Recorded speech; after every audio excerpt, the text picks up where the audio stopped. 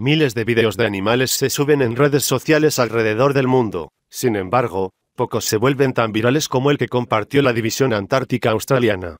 Los animales se encontraban caminando a sus anchas en Austerrocker y cuando se encontraron con una cámara que pertenecía a la organización encabezada por el investigador Eddie Gault.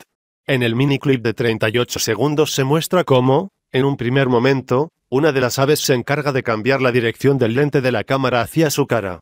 Segundos después, llega un segundo pingüino para posar, también. Las aves, naturalmente curiosas, aprovecharon la oportunidad para hacerse una selfie, mencionó Gaulta de Washington Post. La División Antártica Australiana comentó que el video es importante porque ofrece una visión de la vida en la Antártida desde su punto de vista.